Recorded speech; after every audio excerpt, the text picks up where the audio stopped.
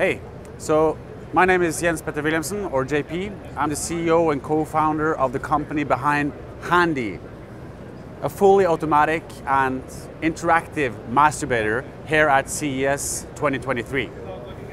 This is a universal and inclusive masturbator, one size fits all, up to 600 strokes a minute, 11 centimeter of stroke length, the beauty about this is that you mount the penis on the outside, so regardless if it's a pen or a can, it will fit.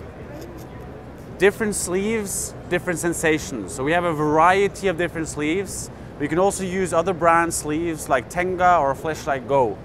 The way you use it in offline mode is basically holding on your pelvic, pelvic bone and controlling it from the front of the handy. There you can control the speed and also the stroke length all the way up to 800 strokes a minute. So, but the real fun begins when you go online with this device. As you can see from this tablet, let's see. You can basically remote control unit from anywhere in the world. And sorry, I just have to, there we are and basically do the exact same sort of modification of the device from speed to stroke zone.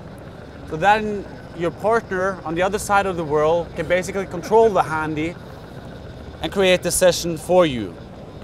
In addition to that, we've teamed up with several partners of adult content, games, and audio where the handy is synced with this. What does that mean? Well, if you look here, it basically means that for videos you want to watch, that synchronizes with the handy. So we have over 20,000 films from flat to VR, where you can then experience the haptic feeling of immersive technology.